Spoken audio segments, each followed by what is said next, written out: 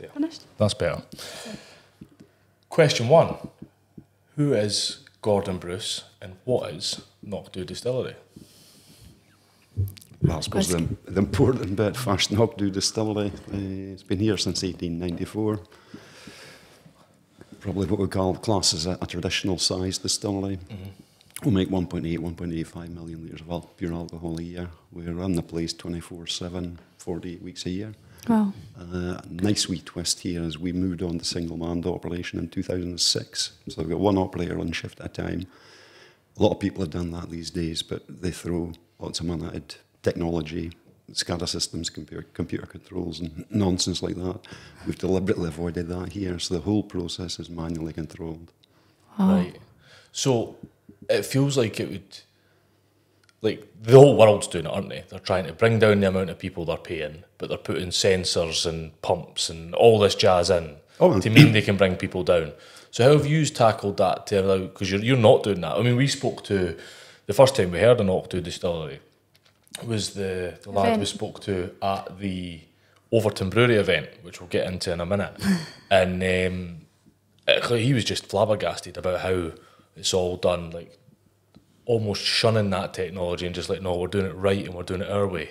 So how, how did you manage to get down to that one man operation without taking all that on board? We've got the right people on board. Uh, The guys have got a busy, busy shift. They, they'll spend the whole shift on their feet, continually moving. Uh, 21st century, we all wear a, a tracking device of some sort, be it a, a Fitbit or Yeah, yeah, yeah. a phone or whatever. One of the guys here, like our newest guy, started May last year. He was doing 23 to 25,000 steps a shift. Wow. Wow. Uh, that's busy. And what length of shift is that? Uh, Yeah, that was a 12 hour shift, so we're running eights during the week, 12s at the weekend. So he's doing nearly two and a half times the sort of goal step count in a 12 hour shift. Yeah. Bet he's sleeping well at night as Oh, well. it's, it's, it's a good diet. Uh, if you're sitting in front of a computer screen all day, you go home from work, you're absolutely knackered. And, and it's, it's not a nice tired, it's a. Aye, that's me. Aye, That's me. That, that's no Aye. fun. No, we we're keen on trying to like get out, get to the gym, do something because you just come back and you feel like you're shutting down. Like you feel like Aye. you're just you're you've no energy to get up and do anything, and you should have because you've sat in front of something and done nothing all day. So that's not a good tired. No, Uh, if you've been on your feet all day and you've, you've, you've done 20,000 steps, you go home from work, you might be a wee bit tired, but that, that's good tired. that's a good tired. Aye, it's Aye. different. It's different. So what does what does the normal shift look like then if it's one man? They're obviously doing everything. Everyone must be equally trained in everything, and That's right. In the old days, you'd have a, a stillman and you'd have a marshman, and they would focus on, on one discipline, one side of the process. right. Nowadays, the guys all at the same status. They're all shift operators. So they look after the process from intake of raw material, malted barley, yeast, grinding it, mashing it, keeping an eye on fermentations, distillation, co-product removal. It's a, busy shift. Aye, so everything from the lorries coming in to almost to pour pouring the dram, they'll they'll be looking Yeah. after really, mm-hmm. yeah. That's fab. And how how's that affected the workforce? Like, because there, there must be guys that you hear about it quite a lot, certainly in factory environments where like they're almost becoming robotic. They're just doing that one thing, one thing, and, and folk are just hating it. But it must give the guys a real good variety of, of work to do, and they, they, surely they love that. They do. Aye. Without a doubt. Uh, I, I couldn't speak too highly of the workforce. They're absolutely brilliant. Aye. But we've got a guy retiring in a couple of weeks' time. Oh dear. We've had ooh, three, 350 applicants for the post, Really? Wow. and we're really struggling to find the right one. Oh so, really? so you're really vetting these guys. And what does that perfect applicant look like? Surely it has to be someone that lives and breathes whiskey that's just here to do it. Uh, preferably not. Uh, Oh, really? No, our ideal candidate would be somebody with the right aptitude and attitude. Uh, whiskey making is a skill, we, we can teach that. Right. Uh, but we, we need people to have that that drive, the desire to do things and, and, and do things well. And what? Where are these applicants coming from? Like all over the world, or is it? Yeah, it's pretty it's global these Is days. it? Yeah. That's incredible. And they're all coming to work here. And Well, sadly Your they're little square not because I only want one. aye, well, that's it. Aye. That's amazing though. Three three hundred odd applicants to from all over the world to come and work work here. That's brilliant, eh? Imagine building a company that's as renowned to do like I I, I don't know what corporate positions, what sort of applicants they get, but I can't imagine it's that. I can't, Mm-hmm. especially not for a, a passion led job, like because it's not a. I can't imagine it's a job you do just as a, as a stepping stone in a career. This is you must be looking for someone that's going to be here forever. Yeah. I'd hope so. Aye. Uh, and the guy that retires, he's he's been virtually part time. He's only been here for twenty years. Only 20 years. I bet you'll be sad to leave, uh, Aye. to lose him. Aye. He's gonna be a big mess. Yeah. Uh, two two of the team they celebrate their thirty first anniversary this month.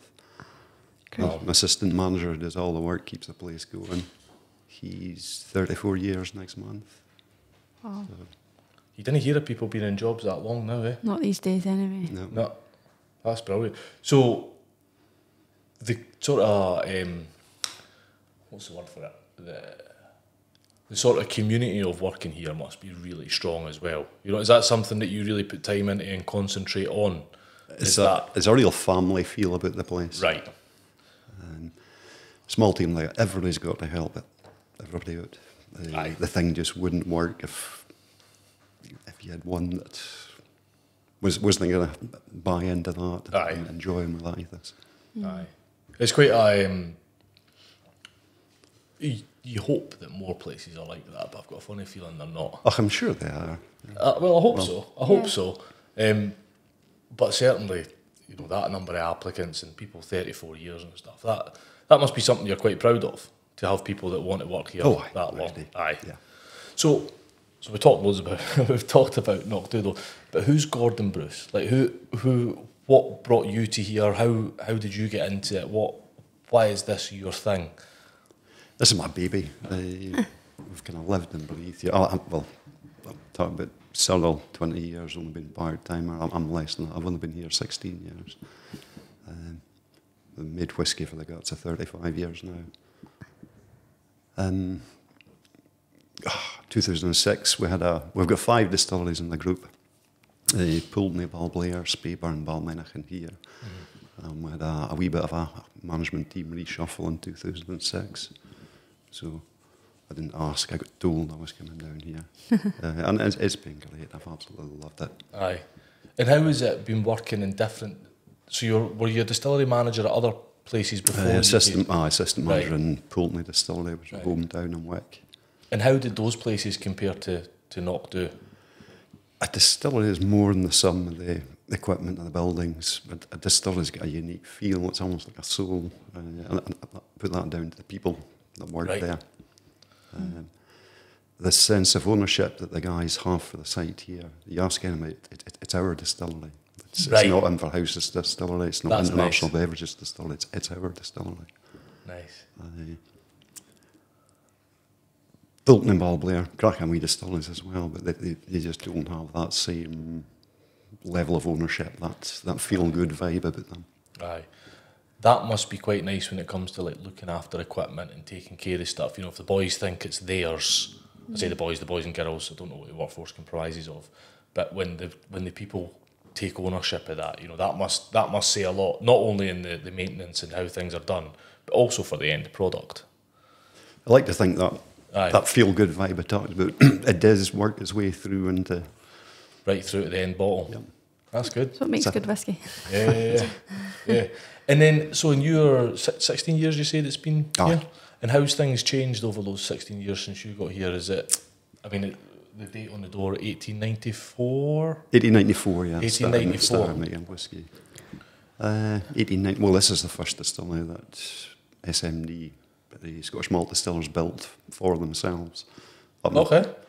uh, up until that point, they were brokers, wheeled and dealed. I think they had like grain distilleries in the lowland, but the first malt distil- distillery they built. They built. Um, changed hands a couple of times. Mothballed in 1983, there was a, a loch of whiskey.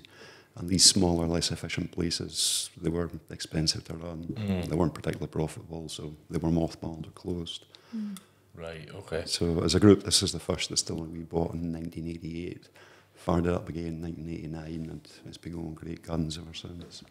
So you said fired it up again. Did this have a bit of time where it where it wasn't producing? Then? Well, it's five years it was mothballed. Or Right. n- nearly six years, in fact, from 83 to 89. where it was just sat still, stagnant, not doing anything. Yeah, yeah. Right.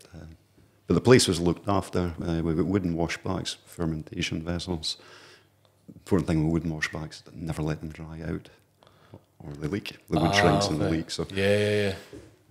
So they had a SMD, Diageo, they had a, a, a team of guys that were around and keep an eye on these mothballed sites just to make sure they were kept in good shape and in the hope they were going to reopen someday.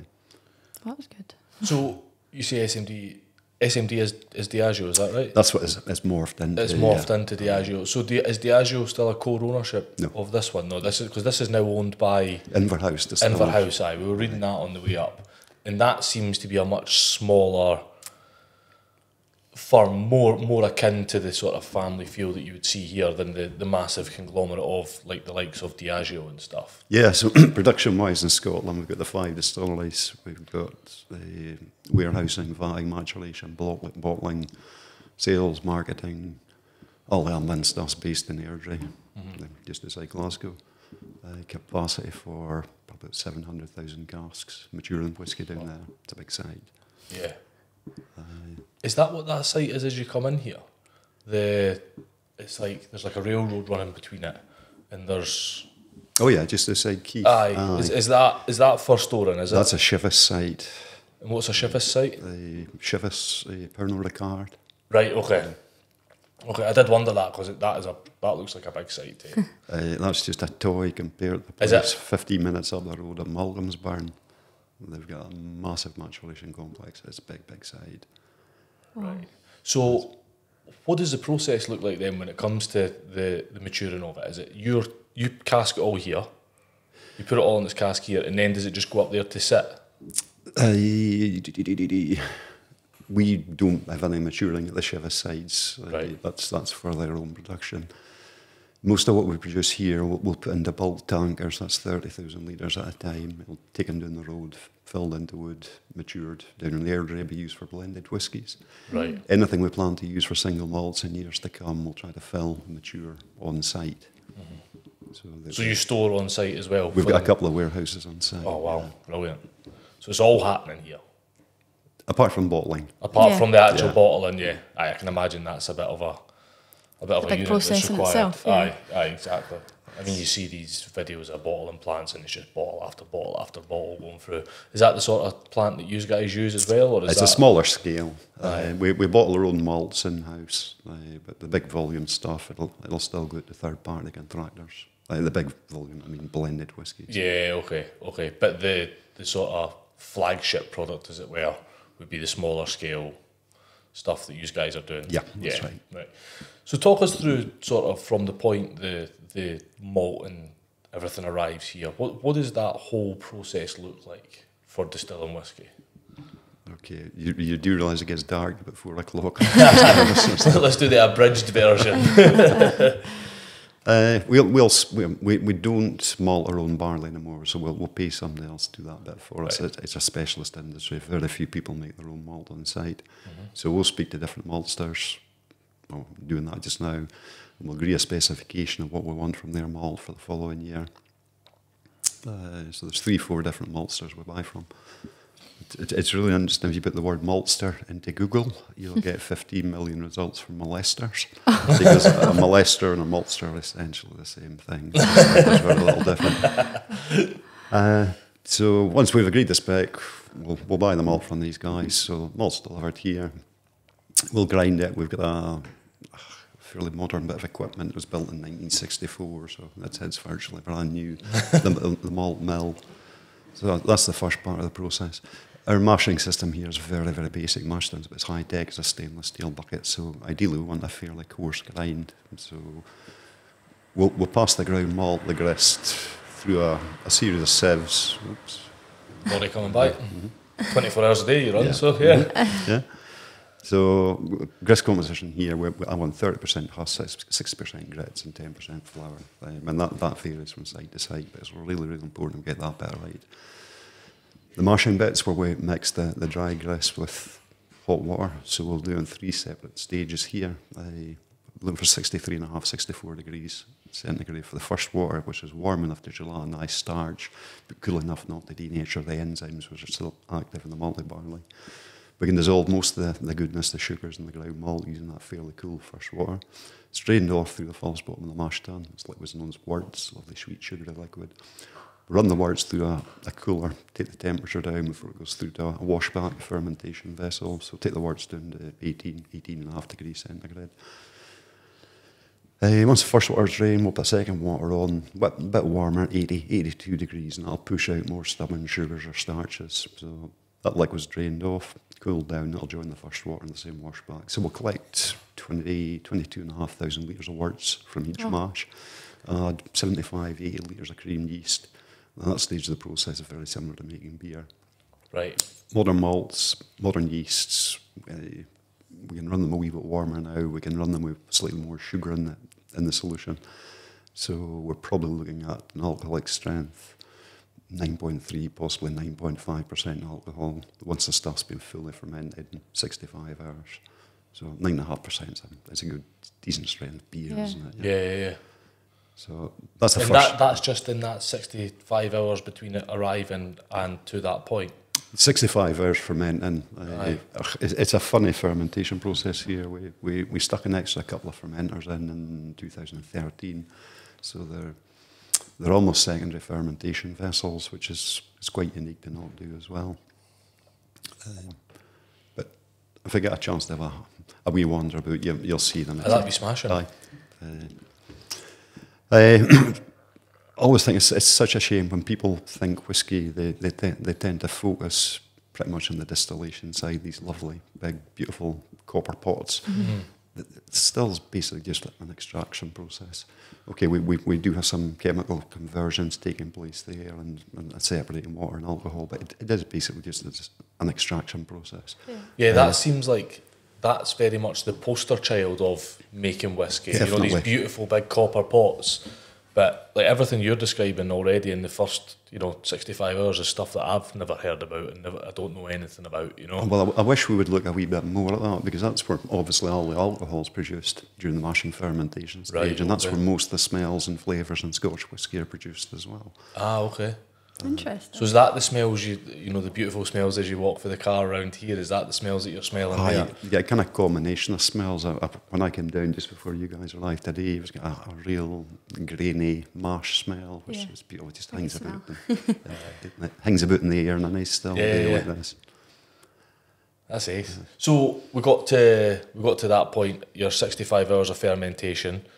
What's next? Well, double distillation. So we got the uh, Scotch whisky is always distilled two or, or three times. Uh, here we've got perfectly balanced distillation. So the wash still, first distillation, spirit still, second distillation. So we'll take exactly half of a wash back, it's 11,500 litres, 9.3% alcohol. We'll use the heat energy, we'll, we'll, we'll reclaim the heat energy from the, the liquid waste, or liquid co-product that's in the still from the previous distillation. So it saves a lot of money and energy bills that we can, Yeah, yeah, yeah. if we can reclaim, swap that heat over. Uh, and we're just relying on different boiling points of water and alcohol just to, to separate the two compounds. So half a wash back into the wash still, uh, get the boil. The lighter alcohol vaporizes before the heavier water, so the vapor's pushed up into the head of the still. Outside the condensing system, vapor's turned back into liquid, which runs back inside in the spirit safe, the still house. Everything in the first distillation is called low wines. It's a mucky, filthy, impure alcohol, probably about 26, 27% alcohol by volume. But we're about, we've put 11,500 litres at 9.3% in. From that, we'll collect 5,000 litres at 27% alcohol. So it's just a concentration process. Ah, right, okay. So it's really easy, cheap to put water into things, but it's difficult and bloody expensive do to get water back out of things. Aye. Yeah. So is that the reason for these stills being that sort of um, wizard's hat kind of tipping over? Is that just because of the way that you want it all to evaporate out and then I'm, I'm taking it that's pouring back out as it collects? Yeah, the size and shape of the still and, and how you drive the still, how you push the still is really, really important. The, the flavour and the characteristics, characteristics even that you Oh, want okay. in your new make spirit. Um, So if you house, changed that shape, it would change the characteristics of the Yep. whiskey. Oh, really? Wow. Okay. Okay. Talk to us a bit more about that. That's really interesting then. So, uh, if you've been in a still house, it's, it's a really, really warm environment. Um, summertime here, we've got air temperatures north of 40, 45 Wow. degrees. It's, Wow. it's, it's cozy. Aye. So when people come in and say, well, why don't you insulate these things? You know, wrap the stills up in insulation. Yeah. But if we did that, we would lose any reflux capacity that that, that the still has. So th- though the copper surface is warm, any alcohol vapour that comes into contact with the copper inside the still, it, it, it will condense. And it's, a, it's, it's called reflux. So vapours recondense, liquid runs back down into the pot, and it's a really, really good way of keeping heavier, maybe some compounds you don't want in you make spirit, keeps them in the waste stream, keeps them in the pot, rather than distilling through and ending up in your bottle of whiskey. So when you say the heavier weight, is that because they physically cannot make it up and round that sort of gooseneck? That you t- I don't know what your ones look like, but I, I tend to see the ones with the sort of gooseneck at the top and then back down. Yeah, well, we call them swan necks. Swan yeah, necks, yeah. right? Uh, and stills, uh, who's got the just now? Probably Glenmorangie, I think. Uh, the, the heads and the head and the stills get a, a big, or the the height of the head of the stills get a big impact on the the quality, the weight, the, potentially the meatiness of the new make spirit as well. These heavier compounds, they, they just they will not travel that far up. Ah, so they physically cannot get that Yeah. high up, hence you get less of the, the sort of dirty, heavier Yep. your compound you're talking about there. So actually, in theory, quite simple, but I'm sure. Oh, like, distillation's dead. Someone you could do it at home. you say that. Uh, I think making whiskey at home in this country is a wee bit like breaking the speed limit. It's it's not a crime unless you get caught. So yeah, yeah. So, so you and then this the two-step distillery. You said what was it? You said yours is a two-step. We've got the wash still and the spirit still. So right. wash still first distillation. So that's a, a refinement. Uh, that would, that would define, so that's probably the best way to put it. The wash still will define, and the, the spirit still will, will refine. So we've Right. got low wines, the first and second parts, the second distillation. First part's called foreshots. And there's lots and lots of alcohol there, but just not the congenial taste, smell profile that we want in new make spirit. So when the spirit still first starts to run in, we'll throttle the steam right back. We'll take away 80% of the heating surface that still. So you want to run spirit slowly, coolly and cleanly. That's why it's always easier to make whiskey at this time of year when we get snow on the ground and, and frost. Ah, okay, Don't know that. Fantastic time of year to run a distillery. right. So when the still first comes in, throttle the steam right back, and the stillman will keep an eye on the temperature, the strength, and more important, the clarity of the spirit. It's got to absolutely crystal clear. So we're probably looking at 20, maybe 25 minutes and foreshots. When it's happy, we'll just manually swing the spout from the foreshots bowl into the, the, the new make spirit bowl. It takes place inside the spirit safe. Uh, spirits bowls connected to spirit receiver. When we go on spirit here, we're looking at 75, 76% alcohol by volume, which is fairly potent. And you, you can almost set your watch by it. Uh, three and a half hours, three hours, 40 minutes, the strength of the distillate running in the, in the site, in, into the spirit safe will have dropped down to 62% alcohol. So when we get to 62%, swing the spout back into the bowl we're on the foreshots into, jack the steam and the still up high, drive off any alcohol that's left in the pot. So the first and third parts, the second distillation, they'll be mixed with everything from the first distillation, and that will give us the feedstock, the liquid we need for the next charge in the spirit still. Right. Okay.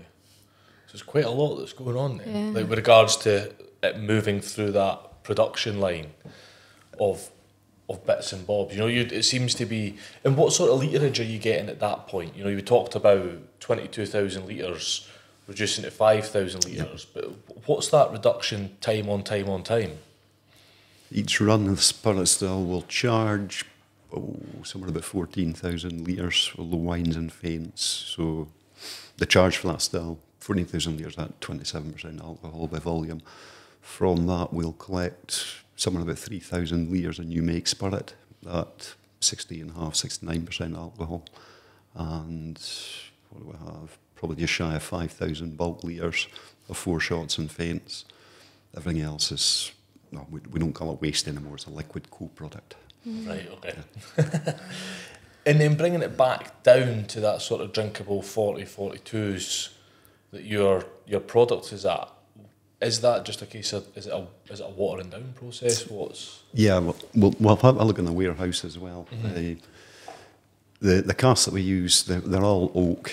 Uh, most of the casks are ex-American oak. Uh, God bless America, the most wasteful race of people on the planet. Uh, they're only allowed to use bourbon casks once to mature bourbon, and then they have to use new casks, which is absolutely Right. fantastic for us.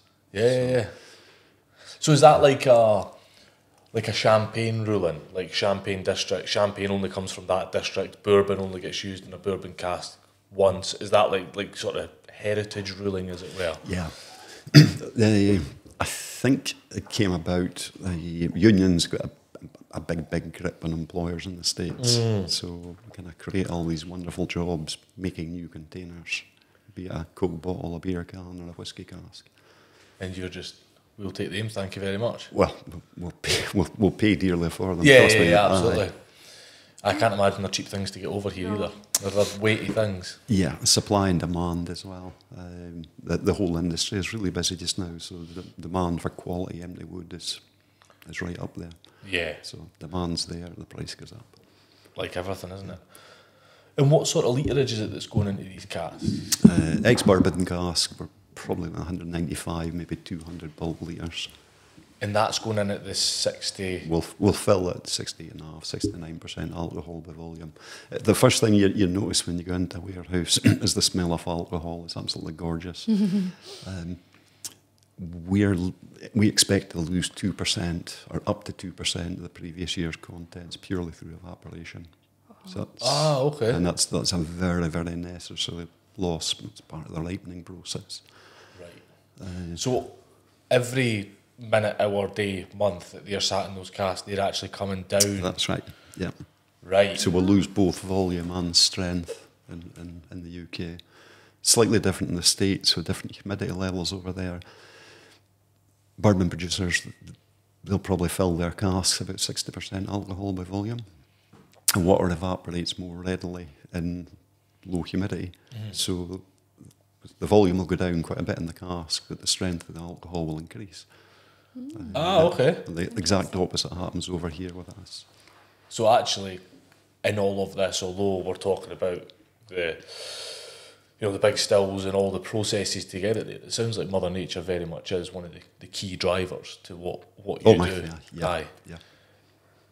And that seems that that'll be across. So is that why different different areas are very very distinct, different. I don't know loads about whiskey. I know a lot about whiskey. I We like enjoy tasting whiskey. I really enjoy whiskey, funnily enough. Um, but you know, every area's got very distinct whiskies. Do you know? Is that is that is that to do with the sort of the lay of the land and where they are and Yeah. Uh, could you be a bit, bit, bit more specific there? Are we, are we looking at Islay whiskies and Speyside whiskies? Well, I Uh, mean, yeah, top level it is the sort of Speyside versus an, an Islay, or even you know where you are in the, the lay of the land and the like you say the humidity versus you know how cold it is in the area. You know, further north, further south you are, you're going to get. It sounds like you're going to get very very different whiskies purely just by where your facility is. Uh. Or is that one? Is it good not that different? Ah, is it not different enough? Probably not, to be honest. Uh, geography is really, really important. Um, we, we make a peated whiskey here as well. Uh, most of our production is, is plain unpeated malt throughout the year, but for five, six weeks a year, we'll run the distillery in heavily peated malt.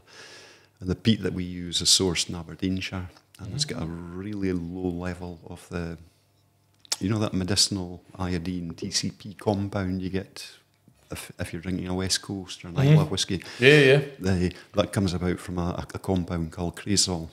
Uh, Islay peat's got a really, really high level of that compound. The peat that we use, Aberdeenshire peat's got a very, very low level. Okay. So we're looking for more of a, a, a bonfire, barbecue, uh, burnt wood Yeah. smoke in our liquid. That sort of smoky whiskey that people talk about, is that where you're coming from? Yeah, Right.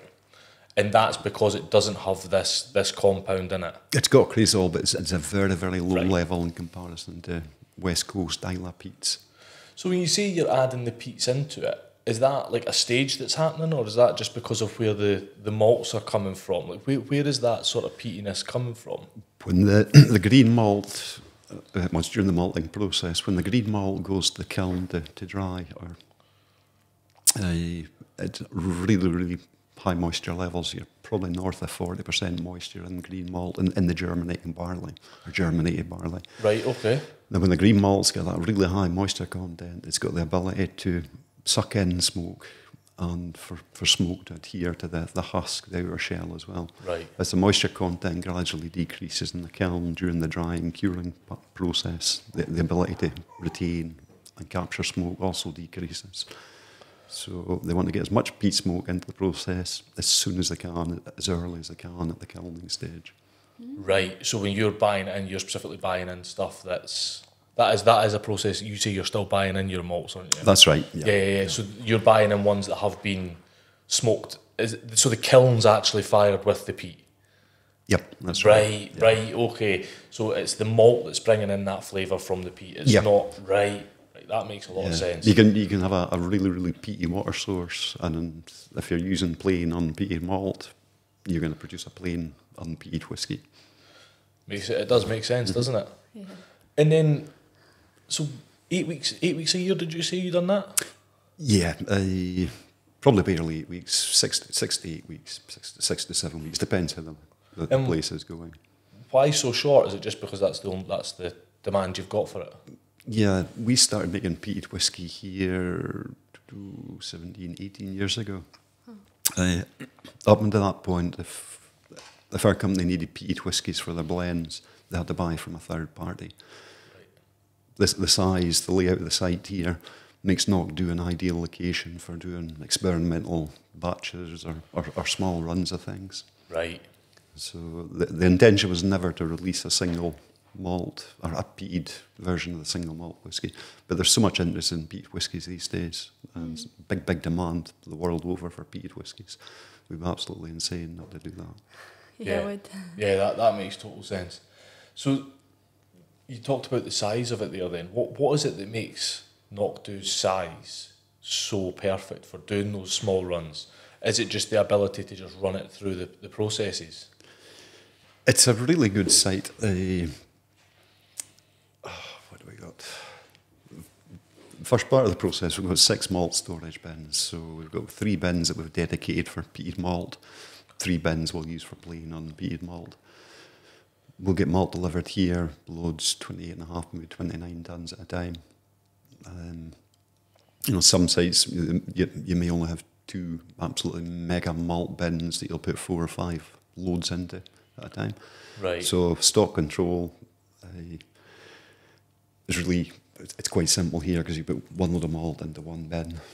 You'll empty that, you'll grind it. You know exactly when went in. You've recorded exactly what what came out, uh, and you can you can segregate things the, whole- the whole way through the process. Um, it, it's, it's, it's just a good site for doing that kind of Aye, thing. That's- just just the, uh, the layout and the yeah. machinery and what what's all there.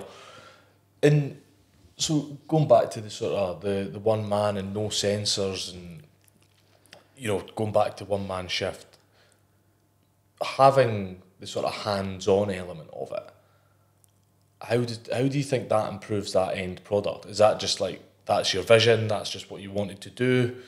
Is it is it something that's quite important to you to just be like the guys need to know what they're doing? It's more of a craft. Aye, that's that's kind of what I'm getting at. It's more of a craft thing than a we just because I'm I'm sure if you went down all that road of all these sensors, I'm sure you could push the the liters at the end of the year up and, and possibly make more. But would it be the same thing? You know, I don't know. 21st century is grossly overrated. It really, Really? is. As, as indeed were large parts of the 20th century. Um, but I also need to point out I'm, I'm, I'm not a Luddite, I'm not anti technology. Yeah. If, if, we can use technology to improve things and make things better, that, that's great, use it. But my biggest concern is as more and more distilleries become run by SCADA systems and com- computer programs, as people, we're going to forget how to do things. So true. And, and once you lose those skills, it's, it's damn difficult to get them back again. Yeah, I, I couldn't agree with you more. It's I, I've harped on about this for for weeks since that the BAE contract to people because the I don't know if you've you heard the BAE have just been contracted for four or five frigates to build for Australia and they're doing it in Glasgow. Mm-hmm. Um, but they're having to build a whole new naval college to cost like 10 million to retrain people mm. because there's a generation gap of guys that used to work on the shipyards Yeah. that are now not fit and healthy to teach. And it's only one generation gap. And now they've got none of the skills. You know, it's, it's mad. I rest my case. Well, that's it. That's exactly mm-hmm. it. So it sounds like somewhere, like, and I think a lot of people will, will really want to hear that. Cause, and I mean, I know um, guy I work for in special effects, Dave. He's he's very keen on that. You know, he doesn't want everything outsourced because he wants people to still be able to make stuff in our workshop and still be able to do all that. I think, yeah, that hands-on thing, and I think that, I think that's really important. Do you guys make an active, an active um, what's the word? Do you actively try and push that? Do you know in your marketing and stuff that this is handmade, this is a craft whiskey, and how do you guys, if you do, push that, or do you think it's just something that's known? I think, excuse me, I, we got this, uh, we, talked about it earlier, this wee podcast thing that I got Yeah, talked yeah. into doing. I, I must have been really, really pissed when I agreed to do that because it's so out of my comfort zone, it's not real. Uh, but the, I think part of the backing behind that is, is, is trying to look at craft. I, The craft means so many, di- like it can mean so many different things to, to different people. Um, I, I th- I think we, we could probably present a, a reasonably strong argument for saying that yeah, Yeah. a knock do a knock is a, is a craft. It's a Yeah. man, man-made product. It's not made by machines and computer systems. Yeah, So I, I, I th- I think the marketing team are quite keen to let, let the world know about that one as well. yeah. Well, I that- certainly think that Overton Brewery thing we were at, Yeah. it was probably the thing that that made us go. You know, other than the fact it was tasting whiskey and strong beers next to each other. You know, it wasn't a hard decision. Let's be honest. um, but knowing that it was, you know, it was all about the craft and the, the PR guys that done it there were fantastic. It was a really good night. We met some great people, Yeah. and th- there was a lot of concentration on, you know, the way we, the way that you guys do things here and the way that good. I'm pleased to hear it was. It was really really good. Yeah. How is that the first time you've done a collaboration like that? Oh, James. Yeah, I think I was actually supposed to go to that one, but I'm, I'm pushing 60 now. I'm just a grumpy old man. so it's, I one of the brand ambassadors taking on that side of things. Mm-hmm. So yeah, that was a first. There's another one lined up for sometime next month, I think, in Great. somewhere south of the border. So I'm definitely not going to that one. No. Yeah. Uh-huh. So so it's something you, you that you guys are looking to do more of in the future as well. Definitely. Definitely. Yeah, I, yeah. I, I thought I thought it was a really good night, like from a communications point of view, and I'd never heard of Knockdhu. I'd never never ever heard, and again, I'm not massive like some sort of whiskey aficionado, and I, I certainly don't know it the way most people know it. I'd never heard of it, and having been told the story and been to the night and Mm, appreciated. The yeah, whole it gave, it gave you an appreciation for the brand that, that's more so than just buying buying the bottle and reading up on it. You know, I think it was really really good. I think it was. That good. sounds really positive. I That's no, yeah. honestly, it was brilliant. I think the guys that done it done a really good job of it, and uh, they definitely got a glaring review after like giving us three nice whiskies backed by like a seven, eight, and nine percent beer. Funnily enough, they got a really good review after it. Weird that, eh? So if that's your marketing tactic, it works. And you should do more of it.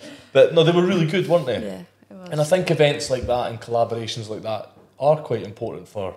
We speak to a lot of you know smaller new start businesses and stuff, and it's important for them. But it's it was really nice to see it being as important for such a well established, you know, business in 18, 1894. And even you guys are moving into into that world, so it was good.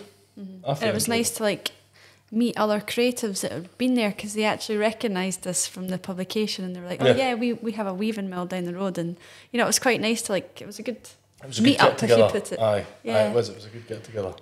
Missed a good night. aye, aye, you'll need to go to the next one. Well, I've only been down south.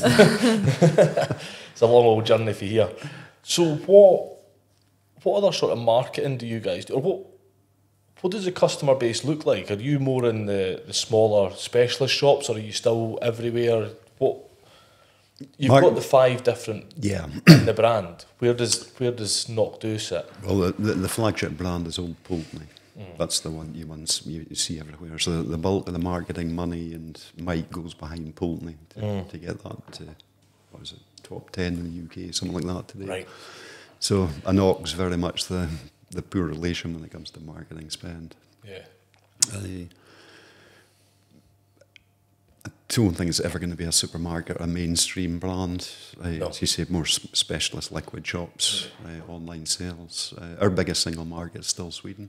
Oh really? Uh, yeah, brilliant. Uh, Is Swe- Sweden quite a big whiskey buyer? Yeah.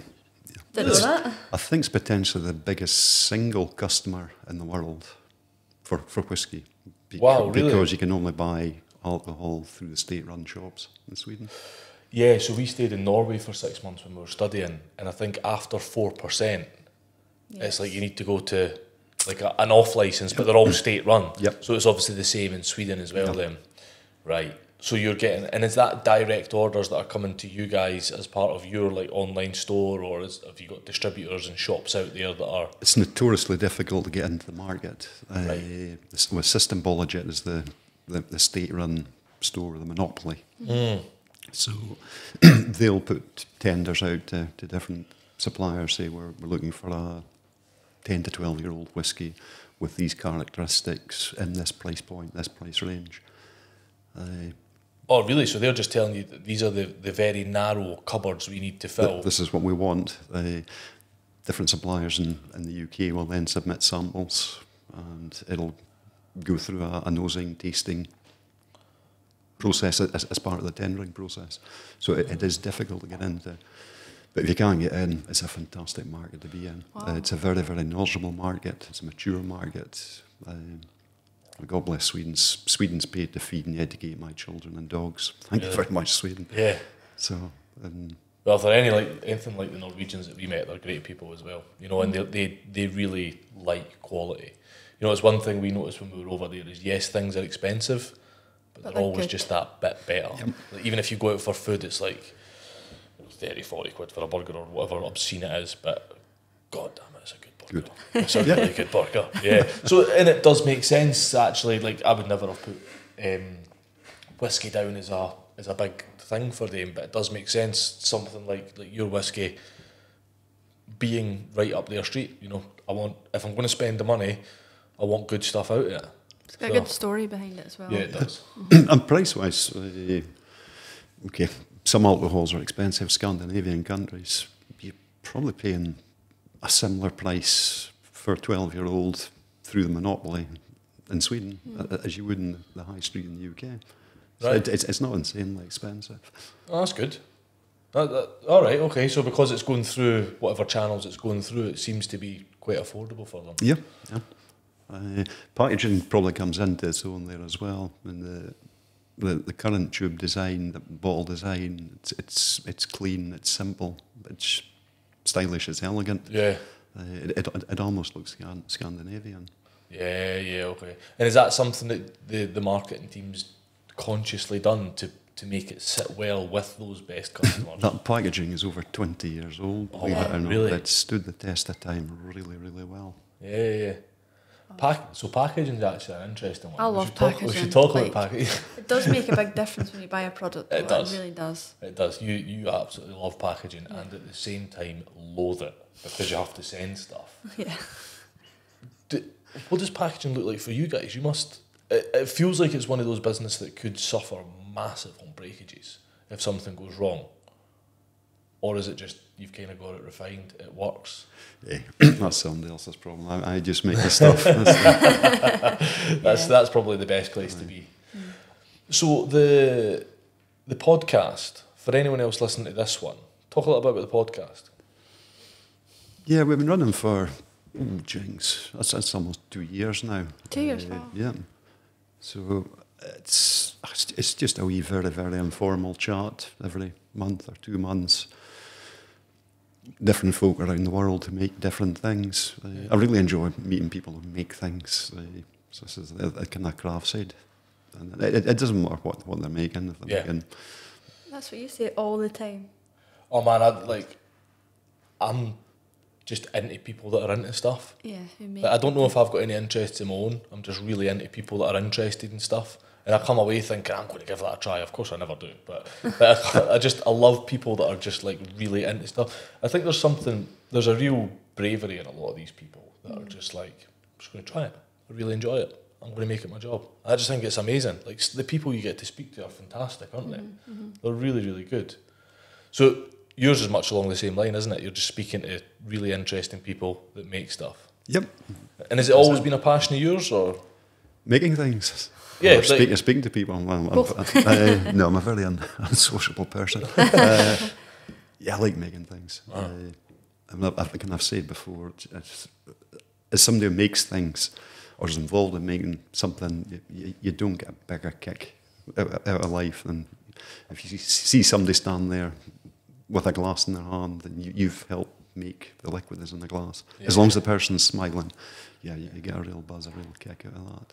That's wicked. And, and even now, that's never faded for you. And Don't tell anybody in head office, but it's, it's not like a job. I don't tell them that, or No. they'll be like, "Oh, you can do this just for free." No, that's good. And and I think if you find that, um, if you find that thing, what was it my dad always used to say to me? I'll never admit he was right, but my dad always used to say, like, find a job you love and you'll never work a day in your life. That's so true. Yeah. You think you found that? It's Oh, you the know still is a big that. it's a big toy box. It's a plaything. That's wicked. That's amazing. You come through the door and Yeah. you're like, "Yep, I'm just enjoying every day. Every it's every day different, or is it? Aye. Yeah, yeah. When, when our main, main raw material is, comes from a living thing, malted Yeah. barley, so it, it changes all the time.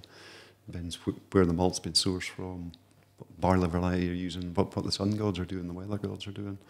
Yeah. So you, you, you find yourself tweaking, just maybe making wee adjustments to the process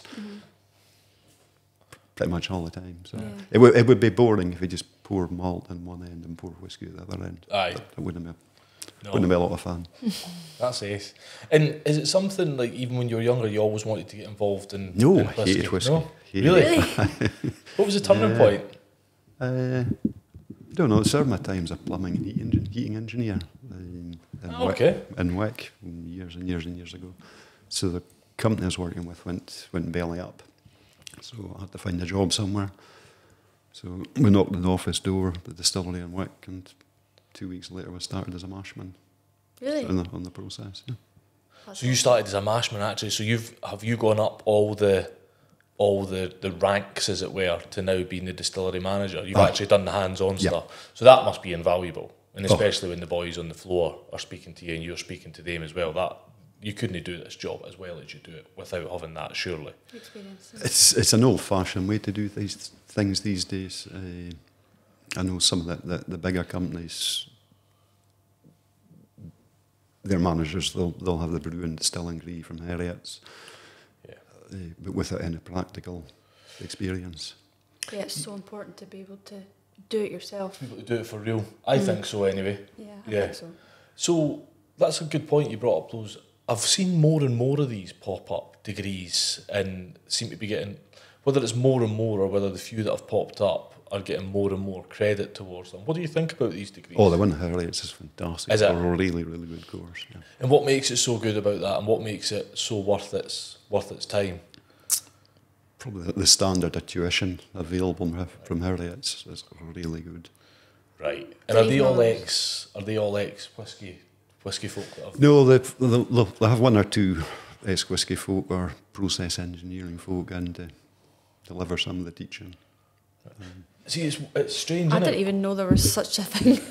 Yeah, I worked at um, one of my first jobs, Christ, going back now, TK Maxx. I was working in the, work, the warehouse and they had a lad who was doing it. And I just always remember thinking, you're on a jolly. you're out tasting whiskey every day. And he, he was. He was probably two days a week, was out at different distilleries and tasting whiskey and seeing it all. I don't know what he's doing now. A lad, Dan Lumsden, I'm sure is his name. I need to check what he's doing now.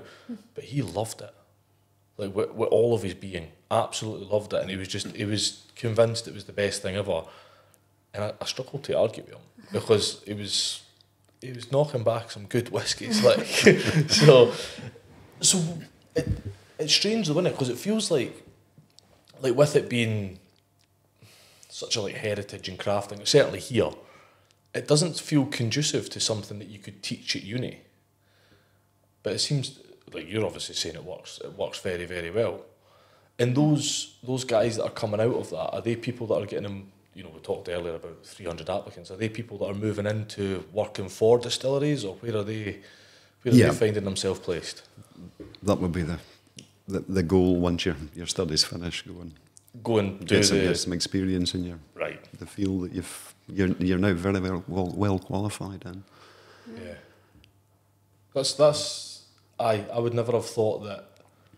I almost expected you to be like, no, no, no. These these degrees you need to do it on the floor. You know, I, I expected the with it being such a hands-on thing to need to to learn it, boots on the ground, as it were. And do you bring people in, like young people, to come in and try it, or is that a thing? We there's a, a modern apprenticeship Mm. in, in, in whiskey making. It's it's it's just getting off the ground now. so Oh, cool. two of our sister distilleries both started apprentices this year, uh, That's good. Bolton and Speyburn, and we're looking to get somebody on board next year. So I think That's it's a, fab. a two-year plan, two-year program. So it's definitely like I mean we hear it all the time, but it's definitely a growing industry then, isn't it? If you're looking at modern apprenticeships, degrees all surrounding it, it's it's Yeah. obviously grown in a big way. And what does that growth look like for you guys? Are you because it'd be very easy to be I'm by no means corporate or no know what corporate companies think, but you would think it'd be very easy for them to be like, well, this is a growing market. Let's just let's expand exponentially with it. Does that look like it'll have any changes for you guys, or is Knockdhu still going to stay that? Is the charm in Knockdhu the way that you guys do things here? That's a massive part of it. Um, it's a crazy thing to think that water is a scarce resource uh, in, in this part of the world, uh, but it is. Um, Oh, really? Yeah. And I'm so pleased to see snow today. Uh, if we don't get snow, we've got the. You, you came in from the Keith side this morning. Yes. Yeah. You would have passed the, the knock, mm-hmm. the hill up behind us. So that's where we get our, our water from. So we've got four very small springs that ping out this side of the hill. Water runs into collection tank, and then good old gravity takes it down to us. Mm-hmm. But to maintain supplies in the summertime, we need snow, and we need a, a nice, slow, steady thaw to keep the springs topped up, keep them replenished. we don't get snow, we're screwed. We're going to run out of water come next summer. Oh wow, That's wild, interesting. eh? Water of all things. Yep. So it just goes back to the fact that you're really at Mother Nature's peril, aren't you? With with all of this We, stuff. we, aye, we've got to work Aye. with, work with nature. Yeah. Um, the water side of things is, is quite interesting because it is becoming scarcer due to climate change. Uh, we've really had to look at how we use and make best use of water here. So every drop of water we abstract from the springs now, we'll, we'll use six or seven times. Oh, wow. And the, the Okay. water is, is dizzy by the time we're finished with it. Love it. It depends who you're trying to sell it to. Uh, 30 years ago, energy was so cheap, no, nobody cared about it. Uh, So if you looked at a, a graph of distillery costs, energy costs very, very little, and people cost a lot. And if you look at the, the chart now, it's gone completely the other way. And everybody's energy bills are going through the roof, and hell, we are, we are no different. So over the last 15, 16 years, we- we've really, really focused on getting the best out of raw materials and, and best out of energy. So we've we've managed to knock our energy input to to generate or to create one litre pure alcohol. We've managed to reduce that by 35%. wow. So it's a great story for the for the bean counters because mm-hmm. look, we're, we're, we're burning less energy to make the same amount of product, but it, it's an even better story for the environment. We're using less energy, but we're releasing less carbon. Yeah, yeah, yeah. And and how long have you guys been on that journey? How long did it take you to get to, to drop in that thirty five percent? Is it just a constant working It's, it's at it? constant, yeah, but it- there's different ways to do it. But the, the, the most fun, the most satisfying bit is if you can put a bit of thought into it, maybe even change the process a wee bit, get the guys involved. Uh, and if, if you can do that and even save a, t- a, a tenth of a kilowatt hour per litre of alcohol, that's far more satisfying if, if you can do it that way instead of employing consultants in and throwing lots of money at something and saving a whole Yeah. kilowatt hour. Which goes back to the guys being really involved, and like, like everything you're saying here seems to go back to the guys being super invested in the company as Oh, yeah. well. Eh? Yeah. yeah, and it doesn't feel like you could do that without that. You know, without the guys being, as you say, yes, you could go and employ a, a consultant to come in, but how much would he charge you to save you thirty pence a month on your? Do you know what I mean? Is, is it is it worth it? So, what, what do you guys do here? Do you do renewables here, or No, excuse me. Uh, we're, we're a bit too small for that. Uh, Renewables, A- AD, that sort of thing works works better in big, bigger plants. right? Um, Ten years ago, we, we changed the boiler.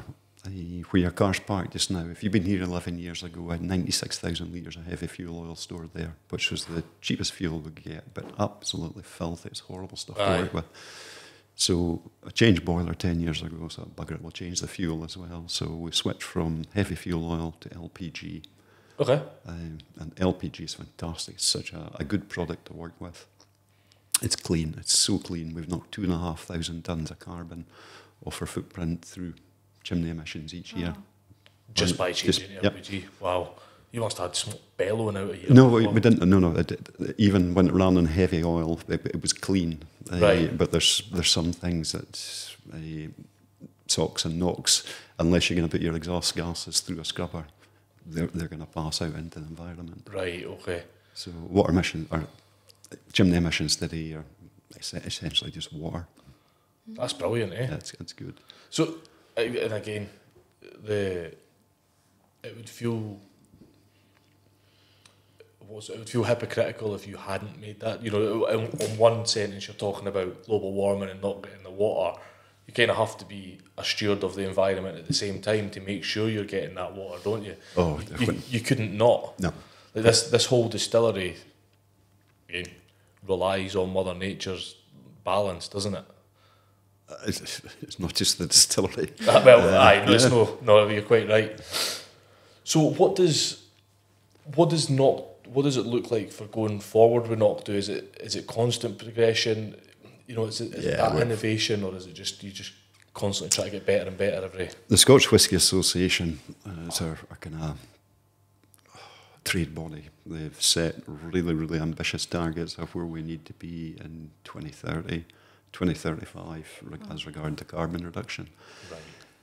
If we use 2006 as our baseline data, great. We, we've we've hit the 2030 targets already, but the rascals aren't using 2006. No. Uh, they're using 2018 as the baseline data, which makes things extremely difficult for us because we've done all the hard work between 2006 and 2018, Aye. which now effectively doesn't count for anything. Should have hung on to that heavy oil for a bit. longer. no, we, we did we did it for the right reasons. I'm, Yeah. I'm, I'm glad we did.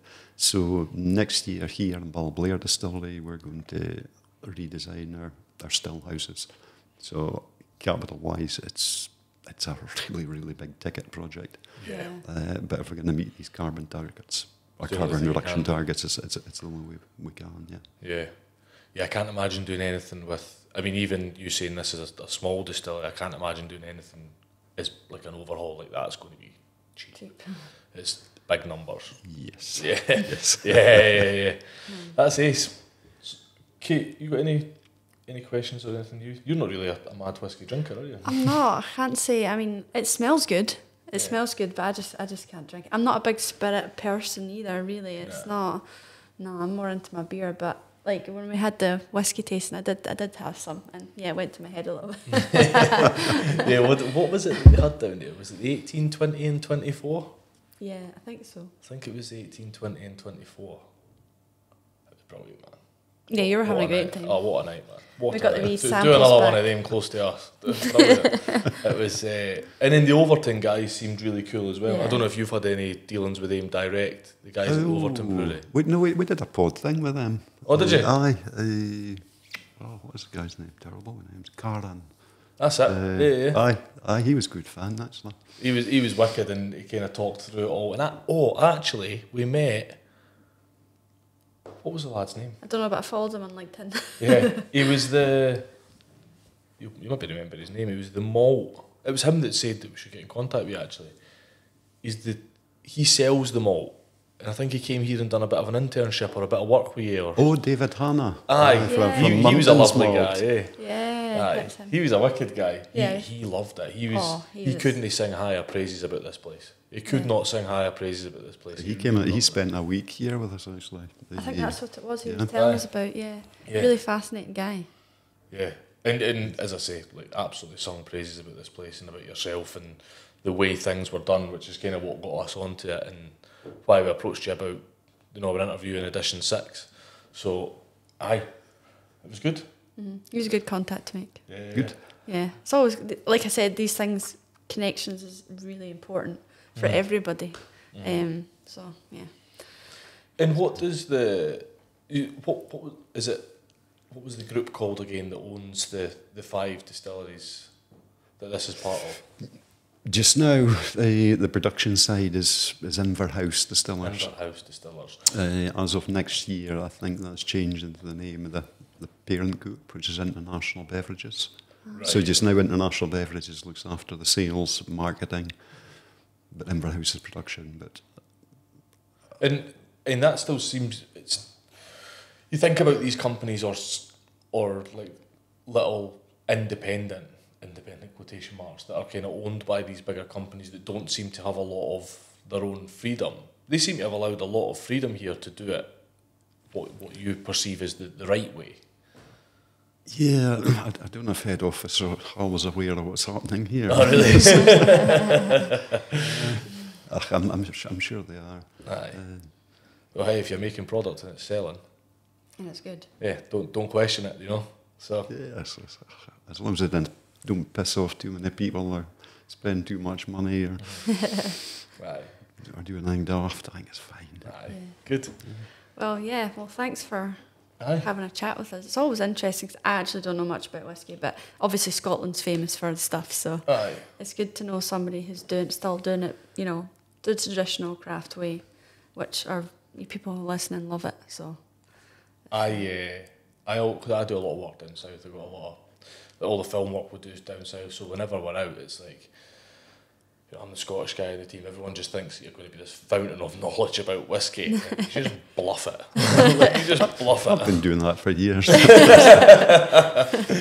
uh, a wee plug there. Uh, if you're going to buy one book on whiskey, buy the Malt Whiskey Yearbook. Uh, and This I is this buy one here. that every year. Um, And this is a yearly thing, is it? yep, It comes it's out. up- updated annually. It's got all the whiskies in it. The, the distilleries, production volumes, Wow. wee bits and pieces about the brands. Uh, really, really good book. And I'm, I'm not on commission on this. They're not on. no. Oh, interesting. It's That's got good. whiskies in Denmark and Czech Republic and stuff here as well. It's a, it's a global process these Yeah. days. Uh, Everyone seems to be doing it. I'll need to get a copy of that. That looks fantastic. Christmas is coming. That's it. Aye, Kate, there's my Christmas present. Gosh. Okay. Well, we'll, we'll wrap it up at that. That was a great chat. Do you get anything? Do you get anything you want to chat about or anything? No, I'm just sitting here shocked. That's what it is. I know, it's just all this tech and it's, it's fine though. I It's know. good. It's good because a lot of the people that we have podcast so far, it's like it's such a big thing and they get really nervous about it. But then after a while, they just realise it's just a chat. It It is. really is a chat, and that's all we want it to be. You We're- almost wish we're normal were invisible, people. you know? If the kit was invisible, it would be so much easier to just chat through. Dram in hand. Yeah, exactly. Oh, it's aye. always easier. I know. well, I have to.